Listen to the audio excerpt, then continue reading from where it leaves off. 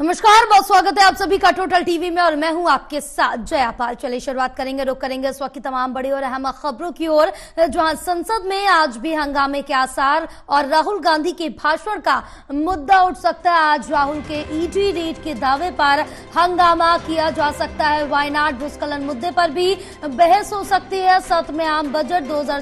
पर भी चर्चा की जा रही है साथ ही बताते चले की बजट को लेकर विपक्ष सरकार पर लगातार हमलावर है अश्वनी वैष्णव ने कल विपक्ष पर जमकर हमला बोला था तो बड़ी अपडेट आप तक पहुंचा रहे जहां बताते चले कि आज भी सदन के हंगामेदार रहने के आसार जताए जा रहे हैं फिलहाल कई ऐसे मुद्दे जिन पर चर्चा की जाएगी और जिन पर बहस और हंगामा देखने को साफ तौर से मिल सकता चाहे अगर हम बात बजट की कर ले तो बजट को लेकर भी यहाँ पर सदन के अंदर हंगामा देखने को मिल सकता है क्योंकि विपक्ष की तरफ से साफ तौर से ये कहा जा रहा है बार बार कि जो बजट आया है जो बजट पेश किया गया अब उसमें में वो भेदभावपूर्ण है वो पक्षपातपूर्ण है